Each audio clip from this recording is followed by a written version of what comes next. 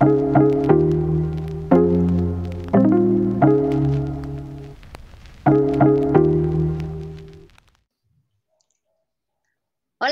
sean todos ustedes bienvenidos a este séptimo capítulo de DataCast, el podcast de DataLab. Como verán, ahora todos estamos de manteles largos. Enseñen muchachos, enseñen su playerita, por favor, porque esta es la semana donde DataLab cumple cinco años. Cumplimos uh. cinco años de estar trabajando juntos, de estar compartiendo con ustedes todo lo que sabemos de ciencia de datos y llevándoles a ustedes también a todas esas personas que junto con nosotros pues comparten todo este tipo de contenido. Entonces es una fecha muy especial para nosotros y por esa fecha tan especial para nosotros pues es, es por ello que les vamos a traer un gran contenido para hoy en el, en el, en el tema de hoy. ¿Cuál es? El semestre perdido de ciencias de la computación. A ver, yo sé que que siempre nos dicen que tenemos que tener algún conocimiento en ciencias de la computación a estos que a todos los que nos dedicamos a los datos, pero eh, en realidad es cierto. Este, no lo sé. de eso vamos a hablar hoy en el tema. Eh, Mike, cuéntame cómo estás. Hola Teresita, muy bien. Aquí muy contento, muy feliz por celebrar nuestro aniversario y pues el tema que vamos a, a discutir hoy va a ser, va a estar bastante interesante. Así es. Doctor Miguel, ¿usted cómo se encuentra? Hola, hola, bien, bien, de nuevo juntos. Aquí, primero felicidades a, esta gran comunidad de Atalab, de que ya son cinco añotes, ¿no? Y pues se dice fácil, pero no lo es tanto. Y pues bueno, yo aquí vengo como de, ahora sí como de observador, voy a ver a los ingenieros de software y a, y a los científicos de la computación, agarrarse los pelos ahí, darse unos jalones de, de, de, pelos ahí, aventarse, a ver, yo quiero ver tiro, yo quiero ver tiro, a ver qué, qué, sucede aquí, este, que alguien me deje claro ciertos conceptos, ¿no? A ver qué, qué sale. Veremos a ver qué sale de esto. Rubén, ¿cómo estás? Hola, muy bien. ¿Y tú, Teresita? También todo chido. Excelente, pues bueno, gustoso de, de, llegar a este quinto aniversario, ¿no? Aquí en la comunidad. Se dice fácil, pero bueno, este, espero que el impacto que la comunidad haya tenido eh, por todas las personas ¿no? que han pasado por aquí, pues sí, haya sido provechoso y pues todavía falta muchísimas más personas por impactar de una manera positiva, ¿no? Entonces, muy, muy prometorio futuro, ¿no? Y pues bueno, pues el tema de hoy es un tema que sin lugar a dudas sé que aquí este, va a haber una discusión buena acerca de estos temas. Creo que a veces las personas que venimos de la academia son de los que menos hablamos, ¿no? Ya cuando empezamos a hablar de, cómo deployar algo, un sistema por el estilo. Entonces, pues bueno, es una parte necesaria, ¿no? Si queremos que esto llegue a las manos de las personas. Así es. Dani, ¿cómo te encuentras? Hola, hola, ¿todo bien? ¿Y ustedes? También todo bien, gracias. Bien, pues aquí listo, listo para platicar de, estos temas que nadie te advirtió que, que tenías que saber para trabajar. Y también contento, contento por, el, por el asunto de, las, de los cinco años de, de Data Lab. Ya un buen rato. ¿Quién diría aquella vez que empezábamos con, ¿qué serán? Unos 15, 10 personas ahí platicando en un salón. Exacto. Sí. ¿Y cómo ha crecido esto? Pues listos. ¿Cómo ha crecido? Nos falta nuestro pastelito, pero creo que ese ese queda pendiente para la siguiente. Un pastel y, no, no y, las chelas, y las chelas, ¿no?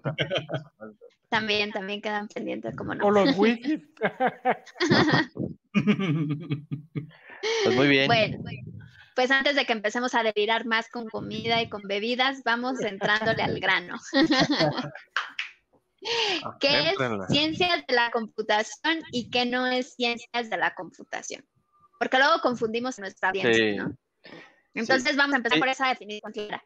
Yo quisiera ahondar nada más como en, ese contraste, porque muchas veces en el grupo de Data Lab, eh, eh, pues en el calor de las discusiones y demás, pues eh, la gente a veces tendemos a usar como sinónimos muchas palabras, ¿no? que serán o no serán, quiero escucharlo de, de los expertos. Entonces, o sea, muchas veces se trata igual como eh, eh, ingeniero en informática, ingeniero en software, eh, ingeniero en cómputo, ingeniero en tecnologías de la, información, este, y, ciencias de la computación, ¿no? O sea, lo, meten como en el mismo paquete y pues estaría interesante eh, saber cuáles son sus puntos de vista eh, al respecto. ¿Son lo mismo o no son lo mismo? Eh, ¿Qué diferencias hay? ¿Qué es lo más relevante para decir esto es una cosa y esto es otra? Ah, bueno, pensativo, Mike. Sí, sí, sí, es que estoy tratando de, de, ver, creo que todo lo que has mencionado, Miguel, es eh, parte de ciencia de la computación. Déjame expando un poco. Lo que pasa es que la ciencia de la computación eh, va desde teoría de la computación, que es como el one-on-one, podemos ver cosas como desde Turing hasta, por ejemplo, la teoría de la información de Shannon, eh, que es muy importante más adelante para cuando para Machine Learning, por ejemplo, la Kullback-Leibler, eh, la divergencia Kullback-Leibler, todo comenzó a, partir de estos eh, científicos de la computación. Inteligencia artificial, la interacción humano-computadora, por ejemplo, o sea, es el análisis y diseño de los algoritmos. Pues, digamos, muchas de estas variantes, si tú las divides solo como ingeniero de software, es, eh, es eh, por lo general, un ingeniero de software es más práctico, no está haciendo ciencia. El científico de la computación, eh, bueno, en la ciencia de la computación estamos tratando de, investigar formas de cómo podemos mejorar y optimizar los procesos usando el proceso científico. ¿A qué me refiero con esto? Pues básicamente, si es para Machine Learning, ¿de qué manera podemos resolver los problemas, por ejemplo, de, optimización todo esto de diferenciación automática. Esto eh, se necesita conocimiento bastante profundo de matemáticas, pero también de cómo funcionan los algoritmos. O sea, no es lo mismo que alguien me diga de una lista, de una lista doblemente ligada, una lista ligada, etcétera, cualquier cosa que se pueda dar ahí. Entonces, cuando tú hablas de un ingeniero de computación, por lo general son de fierros, ¿no? O sea, ellos ven más el diseño hardware. Un ingeniero de software ve cómo puede diseñar un lenguaje de programación. Un ingeniero de datos que ya es más aplicado, ve cómo trabaja toda la tubería de, los datos. Un ingeniero de Machine Learning, que es, eh, un área de la, de la ciencia de la computación como tal, pues, pues ve la forma de aplicar los modelos, eh, los modelos eh, que, se han generado. Entonces, ¿qué, ¿qué no es ciencia de la computación en mi humilde opinión? Es, por ejemplo, es cuando estás, eh, estás haciendo algo muy aplicado.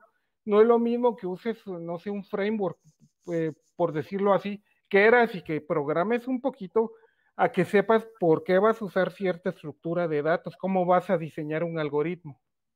esa es una gran diferencia. Es que también por ahí pudiéramos meter ¿no? la definición de que todo lo de ciencias computacionales, todo lo que se ha venido creando, todo lo que utilizamos en el día a día en el desarrollo de software, pues ha terminado cayendo también en la parte práctica, ¿no? Entonces también la parte práctica, pues son todas estas herramientas y protocolos que se han creado para saber cómo utilizar estas herramientas que se crearon en algún momento por medio de la ciencia para poder utilizarlas de una manera masiva, ¿no? En el desarrollo de estos sistemas. Ahora, te, voy a decir algo y, y, aquí creo que voy a causar muchísima polémica, pero, por ejemplo, eh, hay gente y qué bueno, bienvenidos sean los que están estudiando bootcamps para, para programación, que no es, vuelvo a lo mismo, no es ciencias de la computación, no estás aplicando la ciencia, pero por ejemplo, es cuando tú estás comparando esta gente, los programadores como tal, es eh, con un científico de la computación es como cuando estás eh, estás comparando un brujo a un homeópata con, con alguien que, un doctor que estudió, que estudió formalmente, ¿no? Y a ver, a ver, a ver, ahí que le conteste a alguien. pues, a ver. hasta los homeópatas también. es que es que ahorita se tiene un concepto bien diferente de lo que es un programador y lo que es un ingeniero de software. O sea, si nos vamos por esa rama, eh, cualquiera puede programar. Y eso hasta es un eslogan ahí bonito, cualquiera puede programar.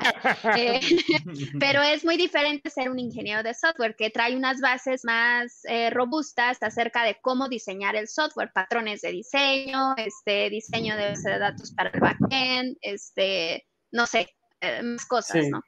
Entonces, eso de software se, va más en el tema de cómo hacer un programa eficiente, cómo hacerlo mantenible a futuro, que no vayas a tener problemas, que este Sí, vamos, el hecho de pensar un poco más a futuro y como dices, un programador pues simplemente tira código, a lo mejor en base a una especificación, a lo mejor este, en base a un tutorial, lo que sea, empiezas a aplicarlo.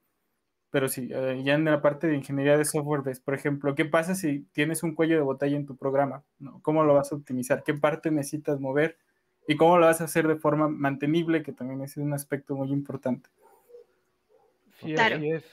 Y esa parte no la, por lo general, o sea, los bootcamps, son muy cortos, o sea, tres meses, este, un fin de semana. Aprenda Python en dos días.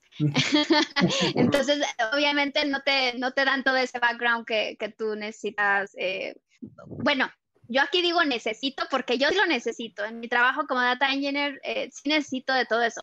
Pero ustedes creen que las demás personas con un rol de datos, llámese uno de data visualization, llámese el científico de datos, el machine learning engineer, necesitan esos conocimientos tan profundos?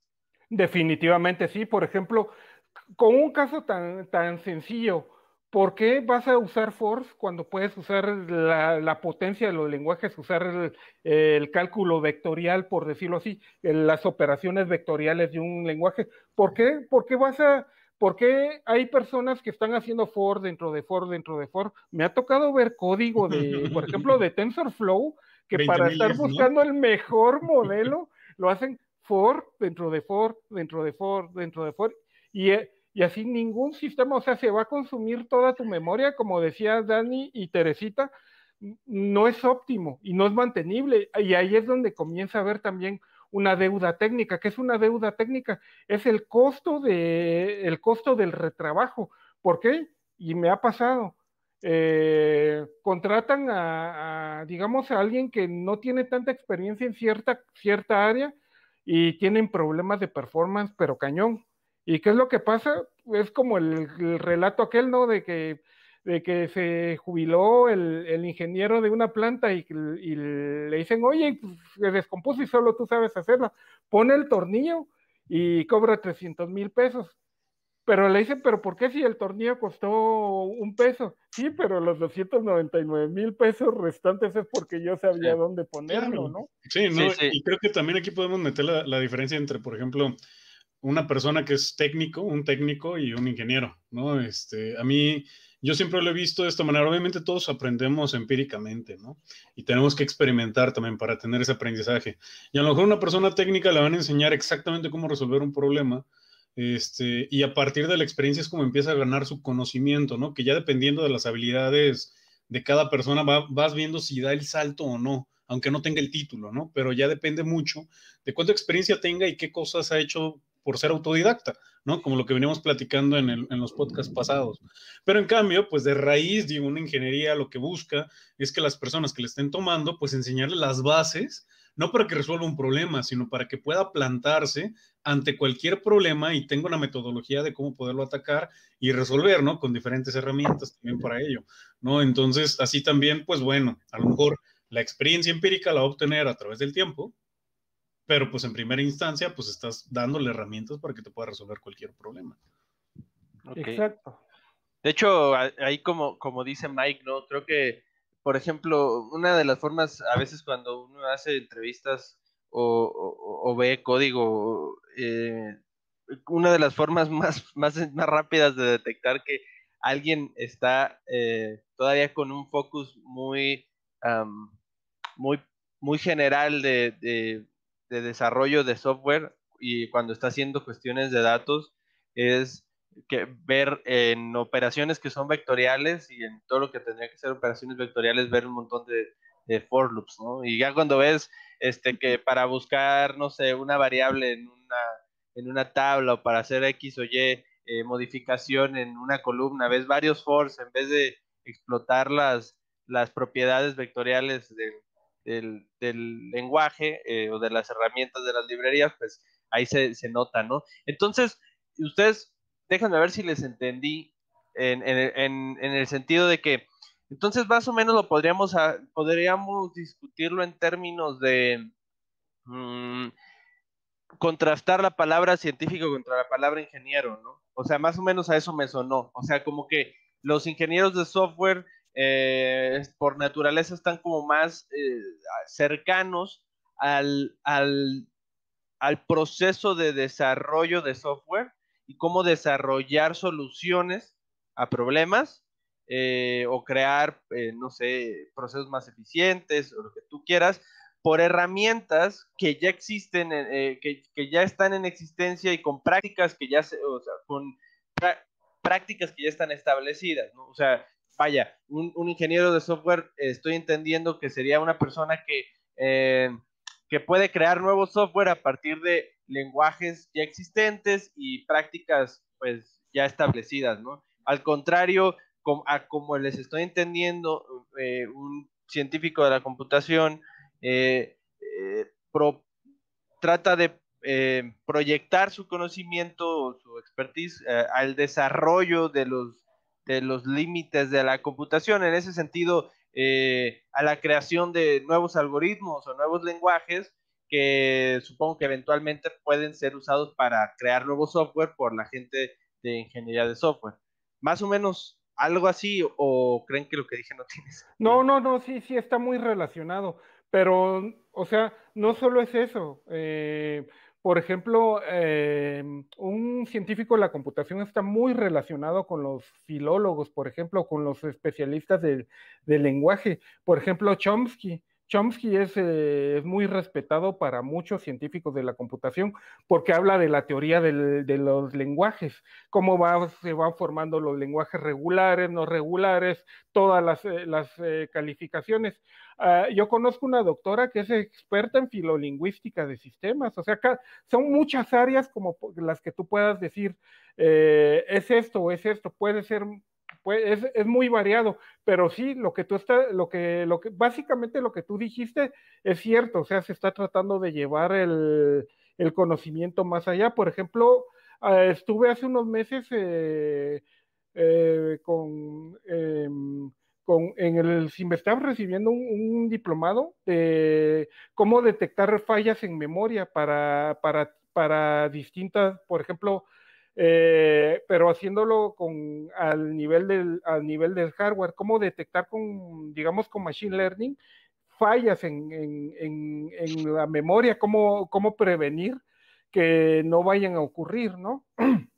Y, eso, y esas son las áreas en las que, por ejemplo, comúnmente un ingeniero software no se va a meter, como tú decías, es una, el ingeniero software ya es aplicado, y básicamente hay algo, hay algo que también en la ingeniería de software todo es un trade-off, no hay ciencia como tal, todo es basado en conocimientos como tribales, por decirlo así. Los eh, científicos de la computación van creando un cuerpo de mejores eh, prácticas, pero en algunos casos puede funcionar y en algunos casos podría no funcionar, es más bien basado en tu experiencia. Pero no es ciencia. Pero también hay que entender aquí que las herramientas que se van generando de la parte científica, pues van terminando luego siendo usadas por todos, ¿no? Entonces, eh, todo el, generamiento, ¿no? De toda la generación, perdón, de conocimiento, pues también va desencadenando nuevas herramientas y cada vez son más óptimas. Y hoy podemos ver cosas, ¿no? Como los lenguajes, es un ejemplo muy claro, este, cómo es de que todos los que pueden aprender a programar a partir de la experiencia empírica, pues bueno, pueden empezar a hacerlo. Ya que hablemos de la lógica, de que si saben qué es complejidad o no, que de hecho yo digo, si no estás viendo en tu carrera complejidad, no estás viendo complejidad algorítmica, no estás viendo ciencias computacionales, ¿no? Para empezar. Por eso viene ahí el problema de los 444, ¿no? Para alguien que haya estudiado complejidad algorítmica, eso es muy obvio. Pero bueno, así en general, digo, eso pudiéramos seguir profundizando en ese tema, pero comparándolo con el tema del podcast de la semana pasada, cuando estábamos hablando de matemáticas para ciencia de datos, pues vamos aterrizándolo igual, ¿no? Que la semana pasada, pero ahora en cosas más prácticas. Entonces, todas estas herramientas que hemos estado hablando de ciencias de la computación para el desarrollo, ¿cómo las pudiéramos llegar a aterrizar en cuáles serían las herramientas que un científico de datos o alguien que trabaja en un equipo de ciencia de datos necesita, ¿no? Para poder desempeñarse en esta área. Eh, eh, eso, eso, es, eh, eso, eso es algo que también tenemos que hacer un, apartado aquí, principiando porque la gente no necesita ser científico de datos, por ejemplo, los biólogos o, no sé, los, neuro, los neurocientíficos tal vez necesitan ser más aplicados Lo, lo, ponía de, por, precisamente de ejemplo tuyo. No necesariamente, tú no necesitas saber la ciencia de la computación, sino saber cómo, pero sí saber las mejores prácticas que los científicos de la computación han diseñado. Sí, de hecho, justo a, eso quería llegar, ¿no? Este podcast se llama El semestre perdido del Computer Scientist, porque generalmente el Computer Scientist está muy eh, eh, clavado con este con el empujar este conocimiento teórico de cómo la computación es posible, eh, ya sea con lenguajes, con eh, estableciendo nuevas teorías de cómputo, etcétera, y a veces no está cercano a ciertas herramientas del, más propias del desarrollo de software, ¿no? Eh, a veces, a veces no, no lo tienen como parte directa de, de su línea de, de materias, ¿no? Y ahí, va, ahí iremos nombrando varias, varias eh, herramientas que no solo aplica para el computer scientist, ¿no? Por ejemplo, yo que estudié eh, ingeniería biomédica, eh, por ejemplo, pues nosotros desarrollamos mucho software, pero ciertamente no tenemos el, el conocimiento de, de, las mejores prácticas para desarrollar software. ¿no?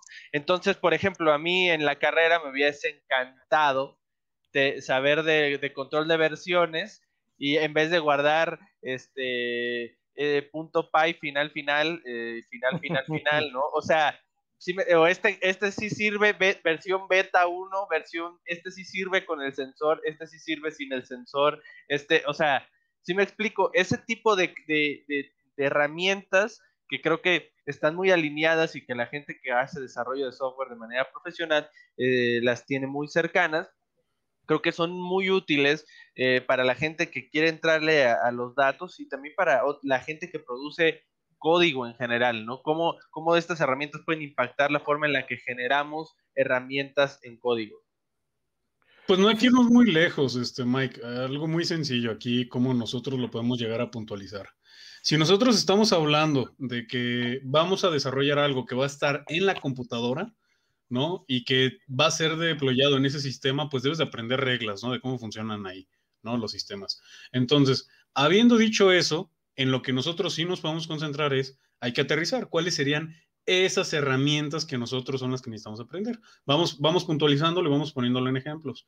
Entonces, este, a mí se me hace algo muy curioso, ¿no? Pues si quieres entender ese idioma de cómo se deploya un sistema, pues hay que aprender, ¿no? Cómo funciona.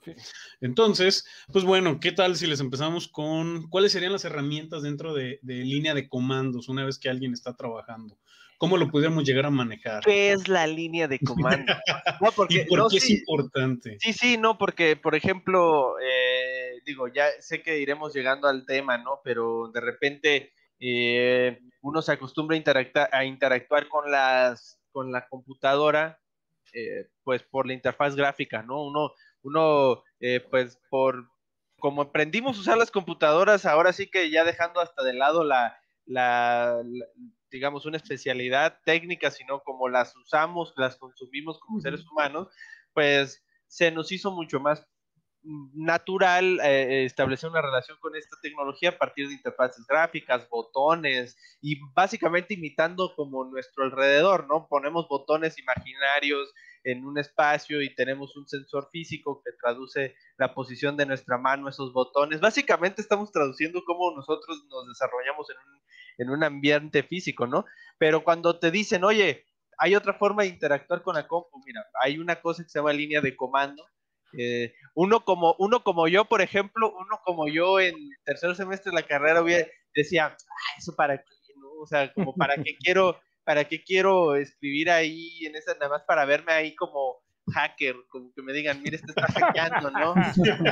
Este, este, está hackeando, ya ves que pones una línea y bajan como cuatro o cinco líneas verdes, ¿no? Y dices, oh, este dude está haciendo algo súper, súper, súper complejo, ¿no? Y nada más estás viendo el directorio o algo así. Mira, eh, en primer lugar, eh, a cualquier carrera, todas las carreras deben de tener por lo menos el manejo de la paquetería, ¿sí?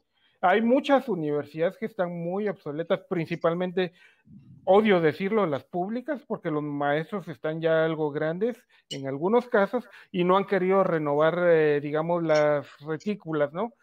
Y todas las carreras deberían. Por ejemplo, el caso que más tengo presente yo es el de los ecologistas o los psicólogos que a veces están haciendo estudios de pares o están, están haciendo algunas cosas que antes las hacían a patín, pero hoy son tantos datos, es poco práctico no hacerlo con computadoras o guardar un, guardar un Cardex, ¿no? Antes lo hacían, ah, sacaban el, del archivero, sacaban el expediente, hoy ya no lo tienen que hacer así, pero ¿por qué se necesita la línea de comandos? Simplemente les voy a poner un ejemplo. Todos han visto que es muy chido usar los, los notebooks, y, pero eso es solo para cuando estás haciendo, digamos, el prototipado.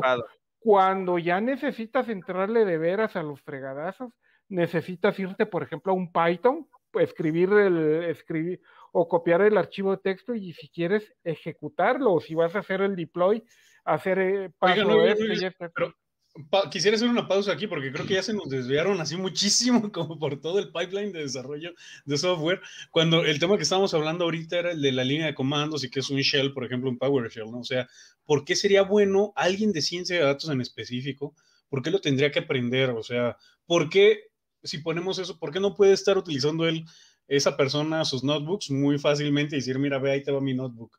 ¿Por qué tendría que aprender a utilizar estas líneas de comando? Es que, mira, y justo, justo eso era, a, eso iba y por eso ponía el ejemplo de notebook contra línea de comandos. Cuando ya terminaste el prototipado, tienes que necesariamente, ¿cómo vas a ejecutar el programa? El notebook no, el notebook no se puede ir a producción, no te puede, no puedes, digamos, eh, podrías, pero no debes por eh, eh, alimentarlo de datos, por ejemplo, que te haga una predicción o una clasificación, lo que sea, necesitas a fuerzas abrir la línea de comandos, aprender cómo utilizarte, cómo, cómo moverla. Por ejemplo, voy a moverme al directorio tal porque aquí está el archivo donde hago las predicciones o donde está mi modelo, ¿no? Ahí ya, ya mando un Python 3, por ejemplo, y mi archivo de de el, donde está el código de Python. O sea, el notebook. Podemos resumir un poquito más, como por ejemplo, Mike, a ver, para, ver, eh, sería como encapsularlo lo más posible, porque es una cajita que va a funcionar donde si hace una predicción, tiene que recibir un parámetro en un formato específico y va a dar la salida en un formato esperado. Entonces, al hablar de que corramos en línea de comandos, pudiéramos llegar a tener un encapsulado como en un binario, ¿no? Y este binario pudiera ser el encargado de recibir ese tipo de datos y dar otro, ¿no? Exactamente. Em, básicamente es eso, o sea, eh, tú vas a recibir de manera controlada, que es lo que, o sea, tienes el control de todo, de toda la ejecución del programita. ¿sí? Y el hecho, y también entender por qué es importante la línea de comandos, porque a lo mejor la primera vez que utilizamos una computadora tenemos nuestra interfaz gráfica, ¿no? Y es muy bonita, puedes abrir mis documentos, te puedes mover entre ellos, es muy bonito, ¿no? Y, hay software libre, software de paga, etcétera. Pero entender cuando ya se está desarrollando software para una aplicación web, para una app o para donde sea, en ocasiones tienes que trabajar en servidores donde lo único que vas a tener acceso es a la línea de comandos. O sea, no tienes una interfaz gráfica. Y al no tenerla, pues tu única herramienta es esta famosa línea de comandos donde tú por medio de comandos te vas moviendo entre carpetas hacia arriba, hacia abajo, copias, corres, ejecutas, haces, haces todo, pero no de una forma visual. Exactamente, y, ciertamente en muchos casos, eh, digamos, los entornos gráficos están prohibidos porque pueden ser vulnerabilidades, o sea, eh, puede que estén abiertos muchos puertos o puede que sea en la nube. Vas a, vas a estar trabajando en la nube, en la nube, por lo general manejas tus contraseñas, tus llaves y todo, necesitas línea de comando para llevar todo a la nube. Es, es esa la importancia. Y por ejemplo, ustedes que tienen más experiencia desarrollando software, ¿qué tanto se tardaron en aprender, ¿no? Utilizar la línea de comandos de sus experiencias propias.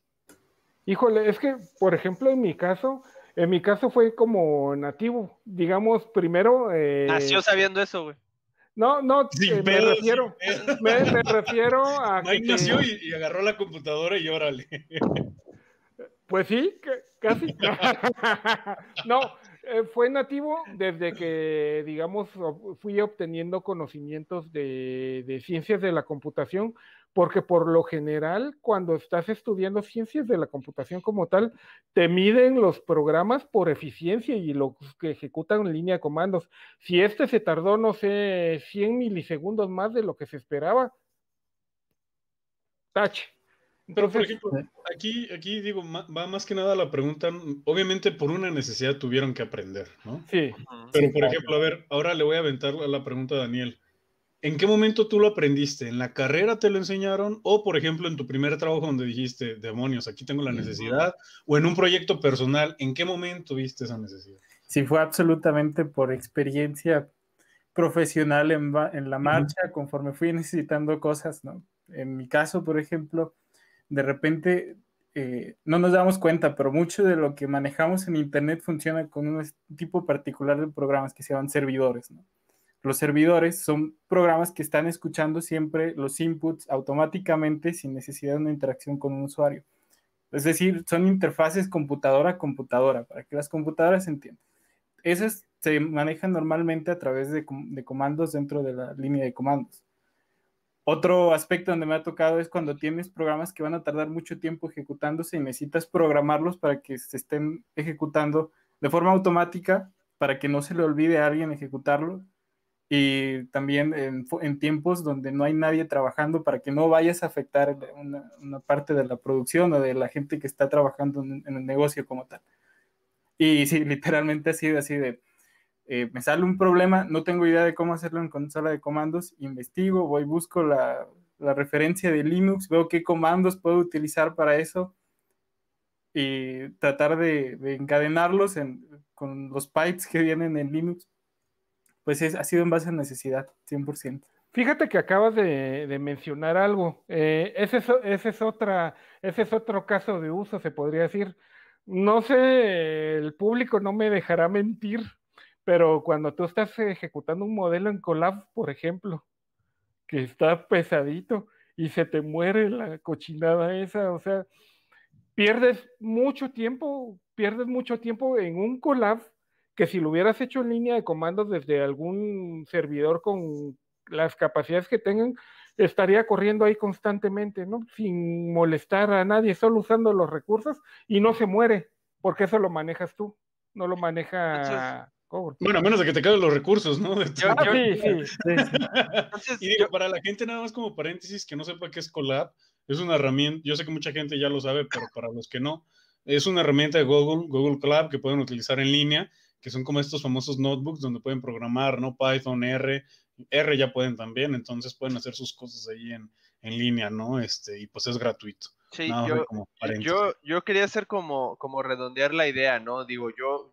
viniendo de, una, de un área que no es propiamente desarrollo de software o computer science, este, eh, como, como les comenté, yo no, nunca había eh, sentido la necesidad de aprender shell eh, eh, y la línea de comandos, yo lo que diría, o sea, para la gente, a lo mejor tratándolo de traducir a, gente que tampoco venga del área, prácticamente Shell, corríjanme si me equivoco, es una especie de lenguaje de, per se, ¿no? Es un lenguaje que de alguna forma te va a ayudar a, a correr programas, a darles entradas, y a ver sus salidas, ¿no? Y eso lo puedes hacer de una forma, pues más o menos eh, eh, estructurada, pues tú puedes estructurar ciertas tareas eh, entre, entre programas o puedes concatenar o, conectar ciertos programas unos con otros para resolver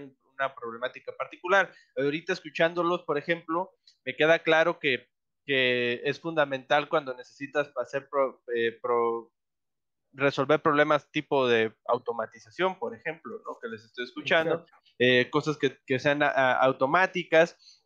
Eh, yo digo, yo por ejemplo les puedo compartir mi experiencia de cómo tuve que aprender, este, cómo aprendí Shell, o bueno, cómo aprendí algo de Shell en, ese momento, ¿no? Er, en el doctorado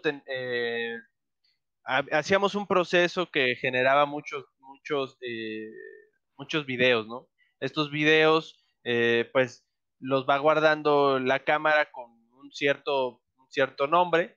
Eh, y pues resulta que a tu director o tu asesor, lo que sea, se le ocurre que hay que renombrar todos esos, todos esos videos de una forma más, eh, que sea más útil, ¿no? De, para leerlos, para encontrarlos, que como los pone la cámara, ¿no? Al principio, pues dije, pues, ok, creo que en un día termino, ¿no? Eran 500 videos, entonces, eh, entonces era una cuestión, era una cuestión que era como video uno prueba tal, bla, bla, bla, ¿no? Entonces, eh, pues dije, bueno, vamos haciéndolo y pues uno que no viene de esta área, ¿no? Pues lo primero que se le ocurre es hables, hables tu, tu Windows Explorer o tu Finder o lo que tú quieras, ves tu carpetita con videos y dices renombrar, y ya pues el nombre y luego renombrar, y ya cuando vas como en el décimo dices, no, no, esto no puede ser. O sea, no puede ser que, que, que esta sea la única forma en la que podamos utilizar la computadora, ¿no? Y ahí, aunque suena bobo, el, ejemplo a lo que quiero llegar es de que hay veces que las interfaces gráficas no son lo más eh, óptimo, ¿no? Entonces ya cuando ahondé en el tema, pues me di cuenta que había una forma usando Shell eh, eh, para poder automatizar y la forma de intercambiarle estos nombres, ¿no? a todos estos archivos. Y cuando lo haces con un solo clic, dices, oh, Hackerman. Ya, ya, ya, ya, O sea, digo, después de pasar, no sé, de perder una hora renombrando a, mano, una vez que te das cuenta que existen esas herramientas, dices, ok, por esto, por aquí va la onda, ¿no? Entonces, una vez que, digo, eso fue en el doctorado, ¿no? Una vez ya que vas, vas entrándote en el tema, por ejemplo, eh, como, como dijo por ahí Rubén, ¿no? Cuando estás utilizando notebooks, por ejemplo, en Colab, Colab tiene la capacidad de, las celdas de Colab tienen la capacidad de, de, leer código de, línea de comandos. Entonces tú puedes decir, este output, mándamelo a tal carpeta, o instala tal cosa, o vete a tal página y descarga tal, no sé, no sé. O sea, hay muchas instrucciones que puedes hacer eh, dentro del, mismo pipeline de ciencia de datos, ¿no? Y que creo que ahondaremos más, más en eso, ¿no? Pero bueno, les quería compartir mi experiencia, ¿no? De que básicamente yo me di cuenta que era útil cuando me di cuenta que no todo se puede resolver con, con interfaces gráficas, claro. que, había que, que había una forma más óptima de solucionar mi problema. Y es que creo que lo podemos llegar a simplificar como todas las interfaces gráficas están diseñadas para el usuario común. ¿no? a, lo, mejor no principalmente para el desarrollador, pero más como para el usuario común. Toda la experiencia de usuario se diseña con base en eso, ¿no? Etcétera. Ya cuando queremos hacer algo diferente, pues bueno, es donde ya vemos estos beneficios, ¿no? Y creo que sí, todo lo que no lo hayamos aprendido en la carrera, creo que lo tuvimos que haber aprendido en algún momento donde vimos la necesidad de ello, ¿no? Ya sea trabajo, proyecto, etcétera. Pero bueno, hablando de otras herramientas, ¿no? Que tendríamos que agregar como al stack, ¿no? De, todo esto, pues bueno, tenemos que codificar, ¿no? Entonces nosotros al codificar, pues bueno, ¿qué editores de código nosotros pudiéramos llegar a utilizar? Yo, antes de comenzar este tema, yo sé que para todas las personas que son desarrolladores, aquí dependiendo de cuál es el que usen más, se puede abrir, abrir un debate que puede durar horas, horas de por qué utilizar uno sobre otro, pero a lo que voy es, ¿por qué no utilizar un blog de notas, no? Por ejemplo. Blog de notas, blog de notas. ¿Y por qué sí utilizar este, algún otro editor, no? Eh, bueno, básicamente el blog de notas es completamente válido y lo puedes hacer, pero después, ¿qué va a pasar? Por ejemplo, díganme si no han trabajado así en un blog de notas o en un editor sin formatear un Python y que se les fue un espacio o tienen un tabulador de menos o algo así. ¿Qué pasa? El punto y eh, coma. Eh, cualquier cosa de esas. lo que va a pasar es que el Python, por ejemplo, si, si, no está el tabulado como lo espera Python, te va a mandar lejos. Te va a mandar lejos. Te va a decir no se puede hacer. Y si ya usas un editor un poco más especializado, y dependiendo si ya lo tienes configurado o si ya viene configurado como tal, ya te va formateando, te va poniendo los, los espaciados o los tabulados para que tú te enfoques en hacer la lógica del, del, del, programa y no estar perdiendo tu tiempo, como, como decía Miguel, en nimiedades como, ay, aquí se me fue un espacio en este otro. Imagínate que, que sea un archivo ligeramente grande que los he visto, no se debería hacer, pero he visto archivos de miles de líneas. ¿Espacios o tabuladores? Tabs. No, Rubén, no. No, no, no, no, no me digan eso, son espacios. De hecho, de hecho, eh, la norma, por ejemplo, pues en Google son dos espacios para, para muchos lenguajes. ¿no? ¿Por qué? Porque los, los, tabuladores sí es una teclita, pero ¿qué te cuesta teclear en vez de una, dos veces? Un Mi energía es valiosa, Mike. No, pero yo sé que es uno de los problemas.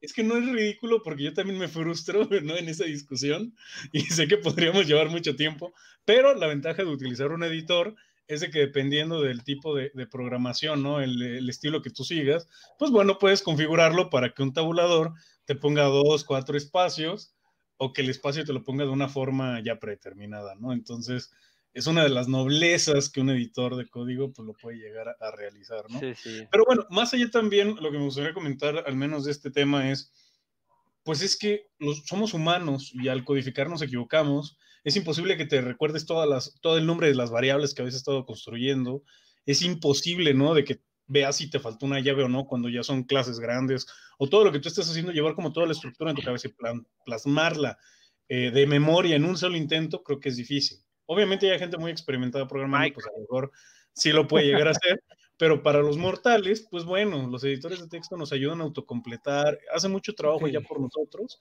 Y digo, en el futuro yo creo que ya estaban van a programar cosas básicas, como ya lo están haciendo hoy en día, cosas básicas, ¿no? Entonces, pero, pero entonces, entonces, ¿cómo, cómo, cómo, o sea, vaya, otra vez me quiero poner en plan, en plan de, yo no sé, estoy queriendo empezar a programar, ¿qué es un editor? O sea, esto, eh, eh, eh, o sea, ¿por qué tendría que, o sea, qué ventaja tiene a que, a que lo haga? O sea, que, quiero que lo, lo, traten de redondear en palabras, ¿no? Ya, ya he estado escuchando que te ayuda, pero ¿te ayuda en qué?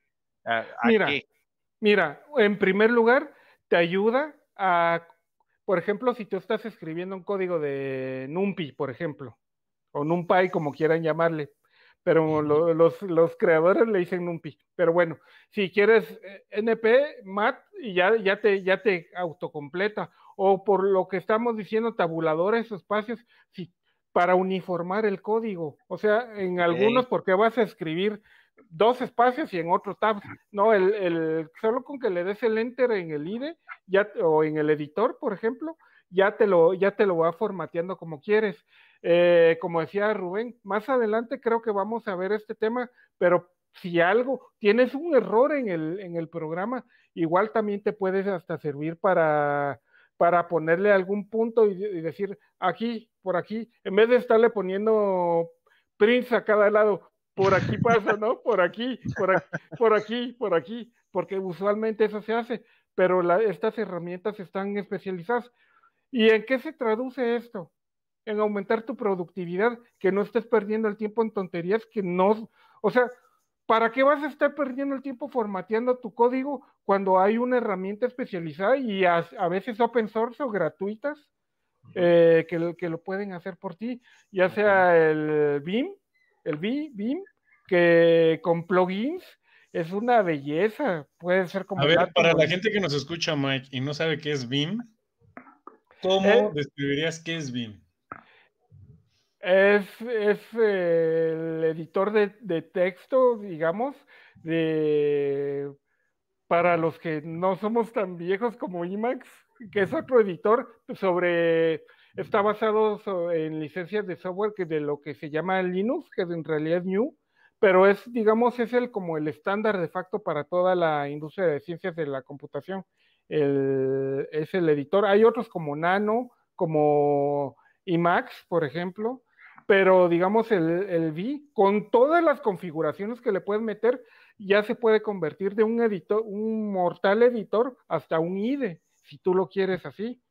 Claro que necesitas una destreza con las manos que control P, control A, ta, ta, ta, ta, para, para llegar a dominarlo. Yo entiendo por qué hay unas personas que lo odian, precisamente porque no, es, es, como, digamos, es una cuestión de costumbre, es como un, es un mal necesario si lo quieren para los que no les guste el, el BIM.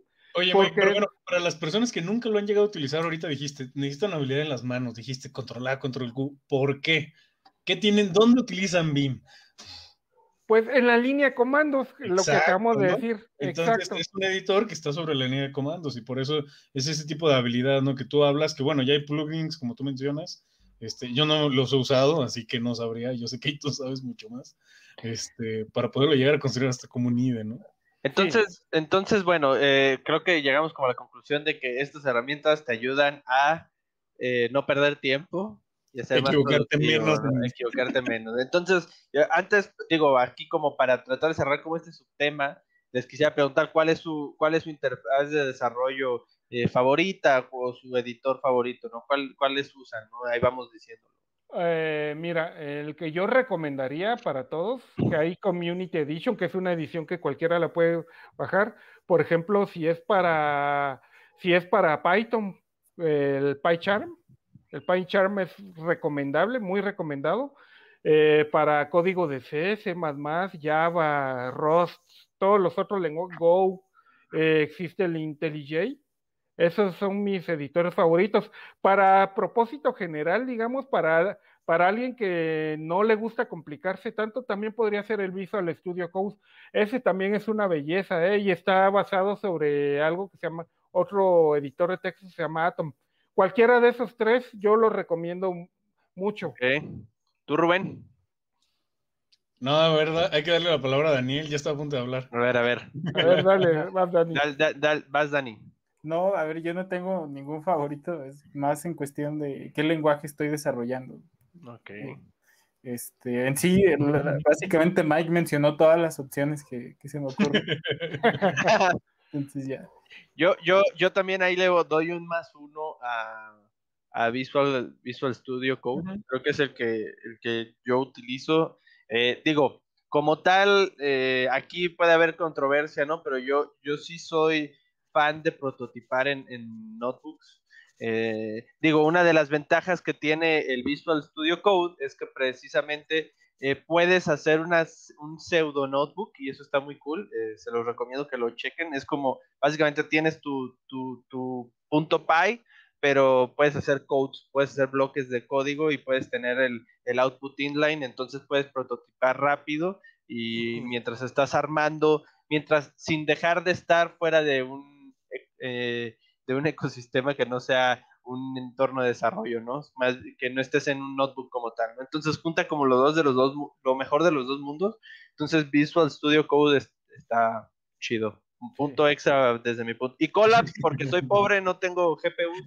Y bueno, en Colab ahí te, por favor. te regalan ahí un, te regalan ahí una entradilla, una, un pequeño TPU o GPU. Entonces, pues esas, ¿no? Sí, sí, sí. sí muy bien. Y básicamente, perdón, para resumir, eh, de los editores, es como que te están protegiendo. En vez de que escribas así en línea, porque se puede, es válido, eh, que escribas todo con, con, espacios de más, de menos y que tengas que estar revisando todo, el IDE como que te va guiando, te va protegiendo de todo lo que vas a ir desarrollando. Oigan, y bueno, ya hablamos aquí este, en general de, de cómo trabajar con la estructura del código, utilizar la línea de comandos y eso. Pero si seguimos como en esta línea, ahora hay que trabajar con los datos, ¿no? Entonces, si vamos a empezar a trabajar con los datos, ahora sí que el tema de data wrangling, ¿no? O sea, cómo lo vamos a manejar, qué es, qué significa, por qué es importante para un científico de datos. Eh, pues básicamente, y, y, creo que Miguel mencionó uno de los temas, una de las cosas que tienes que hacer es uniformar tus datos. Por ejemplo, eh, si les ha tocado manejar bases de datos, por ejemplo, gubernamentales, Open Data, hay muchos eh, datos, por ejemplo, del género. Viene hombre, mujer, hombre eh, o varón y mujer, viene uno y cero, todo esto lo tienes que uniformar. Esa es la primera cosa, no tienes que como limpiar los datos. Eh, otra cosa es que puedes utilizar, eh, en el caso de los, de los vídeos que mencionabas, imagínate que quisieras catalogar todos esos vídeos. eh, con al, momento de, uniformar tu información usando expresiones regulares, qué sé yo, ya, ya vas eh, poniéndolo en un, en un lenguaje en el que tú entiendes, no en un contrato que tú estás entendiendo, porque en vez de que diga vid 00001.mp4, que no te dice nada, ya lo pones a vídeo donde las ratas estaban sin hacer nada en este momento. ¿Contexto? sí, tienes que dar un poco de contexto ahí. No, pues tú dalo porque era tu trabajo. Ah, bueno, bueno, sí, sí, sí. Eh, bueno, bueno, en mi estudio de doctorado estaba estudiando algoritmos en la cabeza de unas ratitas, entonces tenía que ver qué pasaba eh, con esas ratitas eh, de forma visual, ¿no? Y los videos se generaban con unas etiquetas horribles, ¿no? Y básicamente el ejemplo que di de, los videos creo que resume mucho lo de data granting, ¿no? En el sentido de que eh, a veces puedes tener eh, muchos datos o muchos, eh, sí, puedes tener muchos datos que de alguna forma eh, tú sepas que hay alguna estructura entre ellos, pero que no estén representadas en la forma en la que están guardados de alguna forma, ¿no? Entonces tú puedes, eh, a través de la, de la, línea de comandos, puedes eh, establecer con, con, un, con, este lenguaje shell, puedes, puedes manejar esta, estas, estos archivos de tal forma que los puedes unificar, los puedes, los puedes aventar hacia una carpeta en particular, puedes decir, todos los que tengan, eh, todos los que tengan el año 2011, mándalos a una carpeta que se va a llamar 2011, ¿no? Eh, y eso que, eso en vez de que tú físicamente estés arrastrando los videitos como era, como yo lo intenté hacer al principio, bueno, eh, la computadora lo puede hacer, ¿no? Entonces es una forma automatizada de, manejar, de manejar datos y muchas de, y creo que la, la, ventaja superior que creo que tiene eh, esta forma de hacerlo es que eh, eh, hay muchas cosas que creo que están como muy, o sea, que creo que este lenguaje, el Shell, se, se, se, se funda, se fundó o se, se, realizó con la visión de resolver estas tareas, ¿no? Entonces, hay muchas cosas que, que, las hacen muy rápido, que hay muchas hay muchas funciones dentro de este lenguaje que, abordan muchas de estas tareas a realizar, ¿no? Y no digo que no se pase, por ejemplo, con Python, seguramente se puede hacer con Python, ¿no? Eh, pero eh, hay ciertas virtudes en hacerlo en Shell, como ya les comentamos, rapidez, automatización, bla, bla, bla, bla. No, y aparte, fíjate, o sea, esto de hacerlo desde la línea de comandos, muchas veces, por ejemplo, si es un, si es un Python y por cualquier cosa no pudo manipular, esto pasa mucho a las personas que manipulan datos en Windows. Eh, tienes abierto el archivo con alguna otra aplicación, ya bailó, ¿eh? Ya no te va a dejar, rebotó. Con línea de comandos ya lo puedes unificar. Pero fíjate qué bien, mientras estás explicando el data wrangling, tú me mencionaste algo, los pasos que seguiste, por ejemplo, para uniformar, mover los archivos o renombrarlos sin quererlo, ya estuviste trabajando en un algoritmo que es parte de ciencias de la computación. Sí, sí. Sí, así es. Y fíjense, ahí estamos, eh, muy buen ejemplo que pusieron. Era una sola fuente de información, ¿no? Pero también, como comentaba Mike, ¿qué pasa si tenemos diferentes fuentes de información? Y también hay que entender que dentro de toda la, estructura, ¿no? De, de, sistemas y de todos estos datos, que de hecho aquí me hubiera encantado la, la opinión de Teresita, que digo, lamentablemente. La experta. A ella la experta en esto, que digo, lamentablemente por, la, cuestiones y fallas técnicas de luz, pues se perdió la conexión con ella.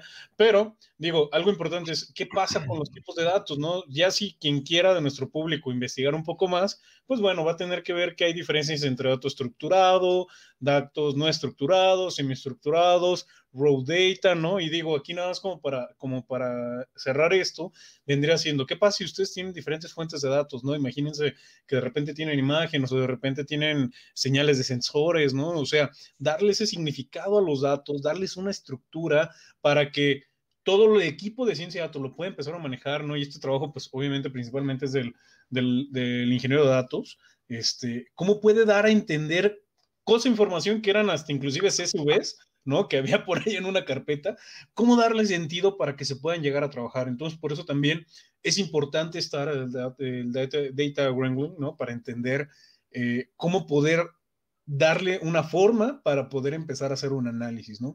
Y habiendo dicho eso, pues también como mencionaban aquí, pues había que hacer unos, aunque fuera en Shell, un poco de código. Entonces, si continuamos otra vez como por esta línea de desarrollo, pues si vamos a estar generando código, pues por lo general yo siempre me acuerdo incluso en, mis trabajos de antes, a trabajar como con diferentes versiones, ¿no? Y, y cuando eres nuevo empiezas a poner versión final, versión final 2, versión final 3, y ya cuando te quedas sin números, ahora sí es la buena, ¿no? Finalísimo. Ahora de veras que sí, ¿no? Y tienes archivos con copias innecesarias. Entonces también, digo, hay una herramienta muy bonita que es el control de versiones, ¿no? Entonces, por ejemplo, Daniel, a mí me gustaría eh, conocer tu experiencia aquí. ¿Cómo, llega, ¿Cómo llegaste tú a usar el, control de versiones y qué tan importante crees que es para un equipo de ciencia de datos el control de versiones? Sí, bueno, pues como les platicaba, mi experiencia es como programador. Ah, pues la gestión de versiones lo que te va a permitir es distinguir entre qué cambios hicieron uno después del otro, quién los hizo, en qué momento, relacionarlos con una ID de por qué se hizo ese cambio y tener todo eso en una base de, en una base de datos o de conocimiento de forma de que puedes, eh, por ejemplo, si hay algún, si se ingresa un bug como parte del código, regresarte a la versión anterior sin tener que ir archivo por archivo corrigiendo la información. Entonces, que eso nos puede pasar a todos, ¿no? Tanto en programación como en algún modelo que hagan lo que estén haciendo de Machine Learning, le moviste algo, se mueve todo, este, y deja de funcionar en productivo la, información.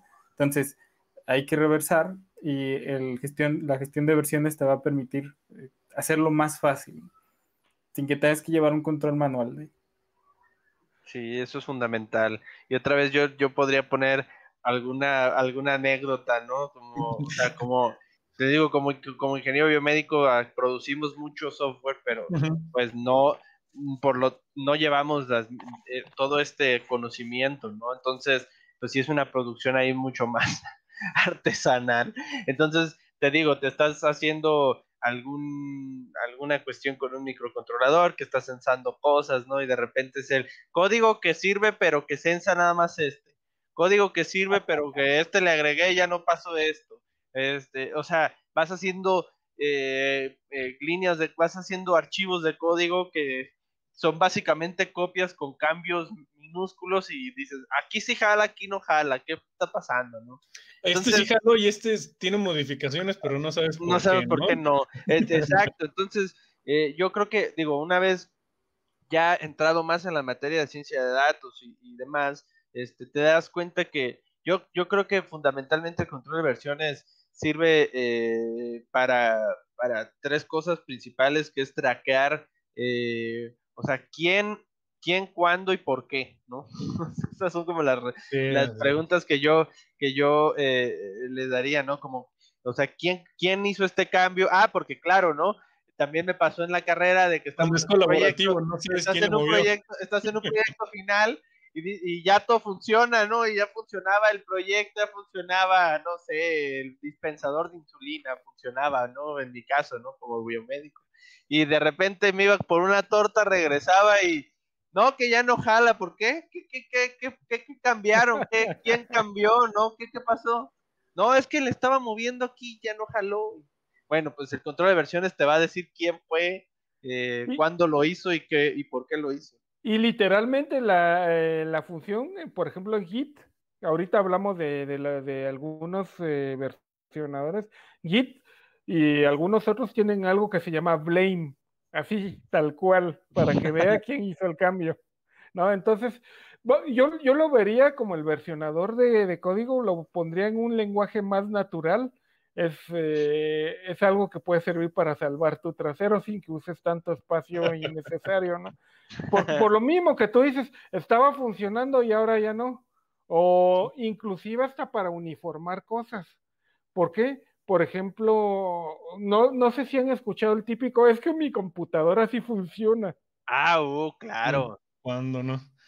¿sí? Entonces eso hasta para uniformar, bajas para hacer pruebas, digamos, bajas en distintas computadoras de un solo lugar, no te lo mandas a tu correo electrónico o, por, o lo metes en tu USB, qué, sé yo, ¿no?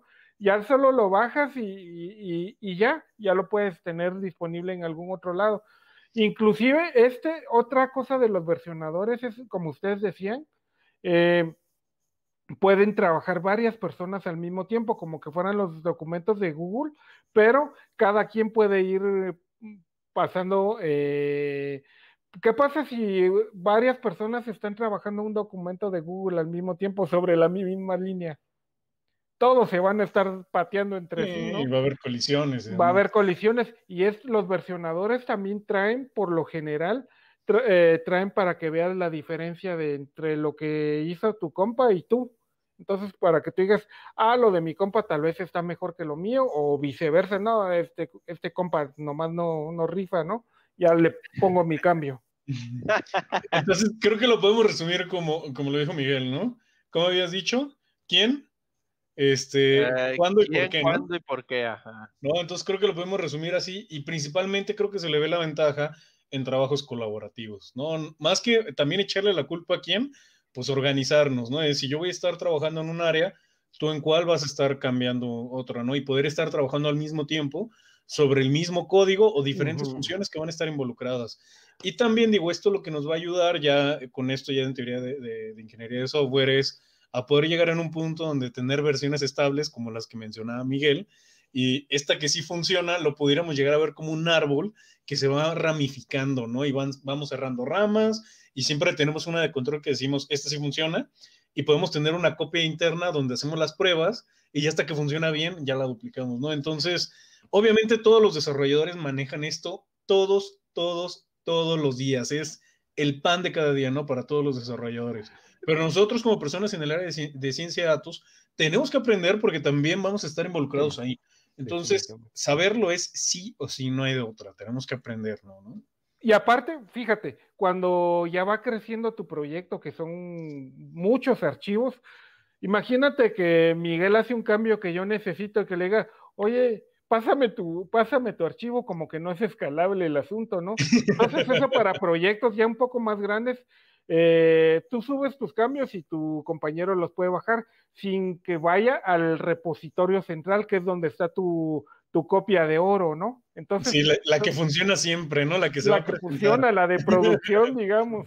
Sí, sí, sí. Eh, y son todas esas bondades y, y digamos, eh, resumiría también que existen algunas opciones como GitHub, que es el más común, o GitLab, que es el de un zorrito, eh, son, son muy Bitbucket, por ejemplo.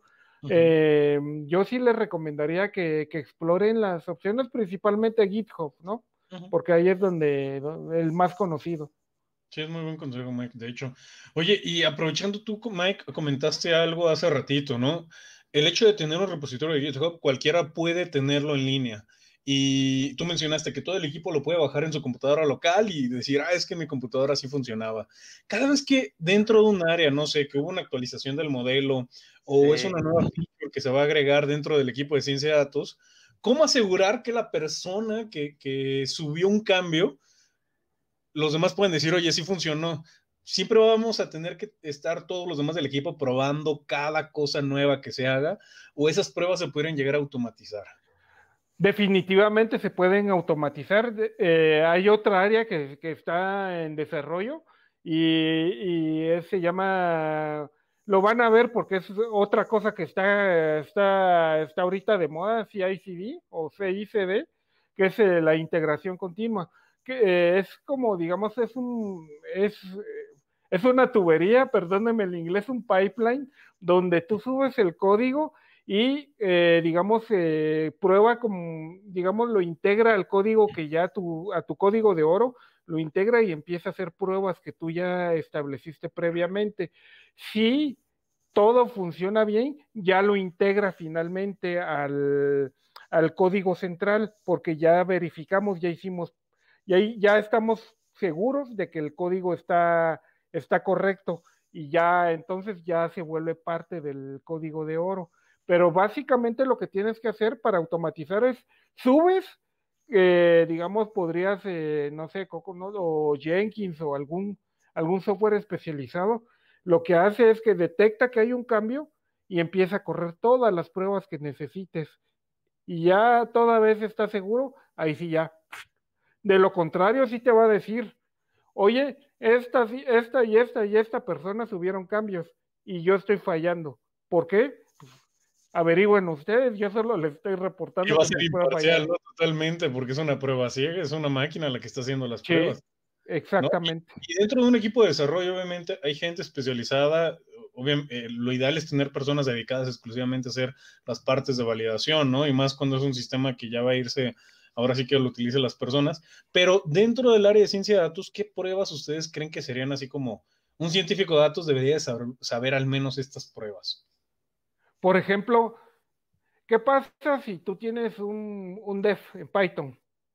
y alguien que estás esperando, no sé, que te mande un, vector de, números, pero te, va, te manda un, no sé, un, algo, algo que no es un vector de números. ¿Qué es lo que pasa? Y tu código no está preparado para, por lo menos para, para pintarle crema, o qué sé yo, a, la persona que está mandando el código. Entonces, si el código no está preparado y tú no lo probaste, siempre va a haber alguien que va a encontrar formas de, digamos, de destruir tu obra de, arte, romper. De romperlo. Pero es porque o no, o no hay una uniformidad de criterio, o porque simplemente no se entendió eh, cómo estaba, no, cómo tenía que ser la llamada. Entonces, básicamente eh, por eh, las entradas, las salidas, si por ejemplo tienes una función que está haciendo multiplicación de, matrices, no sé, cuestiones así, tienes que comprobar que en realidad, imagínate que esté multiplicando columna por columna, ¿no? Te, te puede dar datos que quién sabe qué son. Tienes que hacerlo de manera de que tú puedas comprobar que realmente el fragmento de código está haciendo lo que se espera tanto en positivo, por decirlo así, que es el, resultado esperado. Si es una suma de uno más uno, tú le vas a decir que quiero que me dé dos. Y también, si es uno, eh, uno más A, que te, que te eh, y estás esperando dígitos, ¿no? Que te retorne un error. Entonces, los científicos de datos necesitan y les urge empezar a pensar en esto. De hecho, eh, y, por ahí hay, hay algunos vídeos he tenido la oportunidad representando a, representando a Data Lab de dar algunos talleres y cursos de, testing para ciencia de datos eh, específico para R. Entonces, eh, si pueden, si pueden buscarlos ahí, es, eh, sería muy interesante que los que lo que lo vean para, para que vean cómo se maneja el proceso. Esta, y esta es una parte que yo sí tengo que hacer énfasis. Esta es la parte de ciencias de la computación que un científico de datos o lo hace o lo hace. Si no, eh, ¿por qué? imagínate que también estás probando y, le están metiendo un, dato adversarial a tu modelo de, machine learning, por ejemplo. Y ya, ya bailó, ¿eh? ya bailó. O sea, te va a dar resultados que, que el sistema te va a decir que sí es correcto, pero no es correcto. No, no, sí, y creo que muy bien lo mencionas aquí, lo podemos dividir entre las pruebas que llegamos a hacer y, espero que no haya confusión aquí con las personas que nos escuchan, entre las pruebas que hacemos del modelo, ¿no? De predicción, de un cross validation, ¿no? Un CAFOL cross validation, etcétera, contra la que no sea un error, por ejemplo, donde tenemos una función de multiplicación de matrices que quisimos optimizar y ándale que tiene un error y ya no hacía ni siquiera bien la multiplicación de matrices, ¿no? Entonces, como dividir muy bien ese tipo de pruebas y no creer que todo es cross validation, que también cross validation por ahí puede llegar a ser vulnerado en algunas ocasiones, entonces no asegura, ¿no? Tampoco como medio de prueba. Entonces, este, digo, nada más como para, para cerrar esa idea, pues bueno, es importante también tener en consideración de que algunas pruebas que van a ser a lo mejor muy básicas, que es más que nada como para analizar consistencia en los procesos que estamos haciendo. Y ya después de eso, pues son cosas que son rutinarias que siempre hay que validarlos cada vez que haya un cambio, pero pues a la vez esto pues nos va a ahorrar la vida cada vez que movamos algo, ¿no? Sí, sí, sí.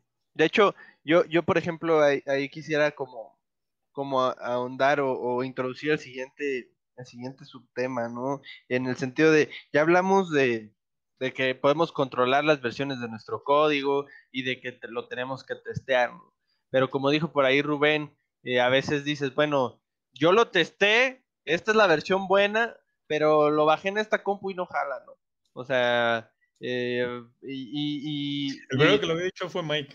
Ya, pero sí, entonces, entonces eh, digo que pasa muchísimo, ¿no? Bueno, por ejemplo, en, en, los lugares de donde se hace cómputo científico, que, que no, no, necesariamente está muy alineado con los estándares del cómputo, eh, digamos, industrial o del desarrollo de cómputo a gran escala, pues haces código que eh, se rompe, que es tan frágil como, como una, un vaso de porcelana, pues, o sea, que cuando hay, cuando alguien dice, mira, vamos a actualizar, actualizamos esta librería, y tú dices, ah, voy a actualizar mi librería, y ya cuando quiero correr mi código del que depende eh, un proyecto de X millones de pesos que eh, en el que estoy trabajando, pues no corre porque se actualizó la librería, y ahí andas que bajando la librería, que downgradeando, que cómo se puede solucionar eso de una forma más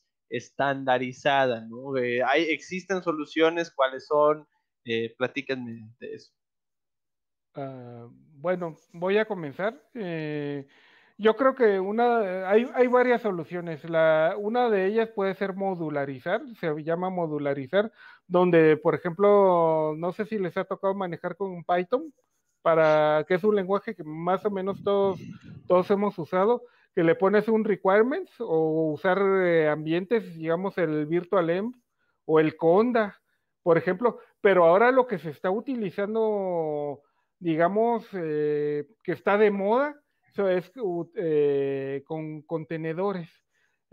Con contenedores tú escribes, tú escribes la máquina que vas a necesitar eh, requiero este software y este y este y este y este.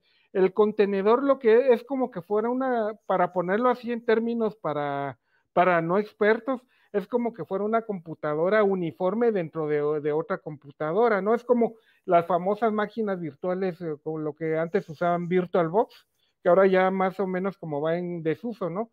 Por ejemplo, dentro de Windows podrías tener eh, un Linux o algo así. Ahora dentro de un contenedor lo que podrías, eh, eh, son ambientes donde como estás virtualizando la computadora como tal, si lo probaste en tu computadora con un ambiente virtualizado vas a tener la misma exacta computadora en cualquier otra, en cualquier otro lugar.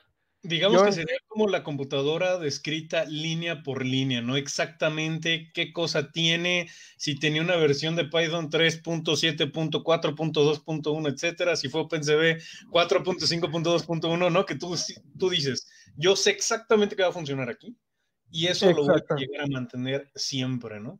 Exactamente. Y no solo eso, o sea, puede que hayan cambios hasta el nivel de sistema operativo, que tu, compañero de trabajo tiene Windows 10 y tú tienes eh, eh, Mac, ¿no? Entonces, eh, inclusive hasta las librerías pueden cambiar y eso podría hacer que ya no funcione tu software aquí o allá, quién, quién sé yo. Entonces, con eso tienes hasta el mismo sistema operativo eh, digamos, en, ambas computadoras, porque es una computadora, que es un, digamos, es un, es como una computadora sipiadita, ¿no? Que tienes ahí y que vas a hacer la entrega del, de las, eh, del programa siempre bajo las mismas condiciones, que eso es lo que queremos, las mismas condiciones.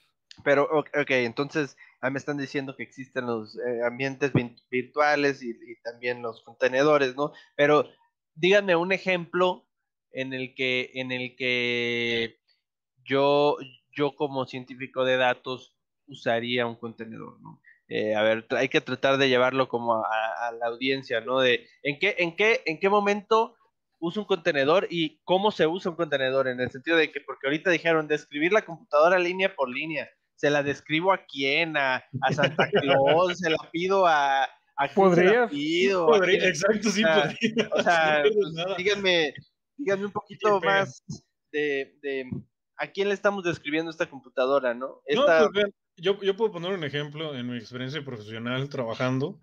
Eh, en ocasiones hay procesos que son repetitivos, ¿no? Que pueden llegar a ser desde una clasificación, una predicción, etcétera. Entonces, cuando estamos hablando de escalabilidad, pues, como también mencionaba por ahí Daniel el día de hoy, estamos usando muchos servidores, ¿no? Y principalmente los servicios web.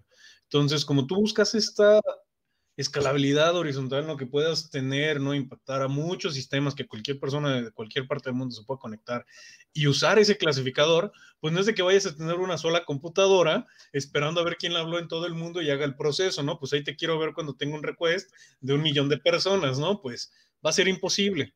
Entonces, la ventaja de estas computadoras, ¿no? Estos ambientes virtuales que tú puedes crear, es que van a ser pequeñas computadoras que van a tener los recursos que tú vas a definir cuántos son los mínimos necesarios y cuáles son los óptimos. Tú vas a jugar ahí entre costos y, ahora sí que eh, recursos de esta computadora virtual para que pueda llegar a hacer esta clasificación, esta reconstrucción, esta predicción, ¿no? Entonces, pues como nosotros a veces hablamos mucho, ¿no? En, sistemas de machine learning y demás, hacemos estos, estas cajitas negras, ¿no? Entonces, literal, estás haciendo una caja negra donde va a ser un servicio en el que van a poder mandar a llamar y tú le puedes meter imágenes y te va a regresar un modelo en 3D, o tú le vas a poder meter imágenes y te va a regresar, no sé, un JSON con todas las clasificaciones, eh, con las imágenes, los ID de las imágenes, y qué clases eran, ¿no? A la hora de clasificar, cuántas personas había, etcétera.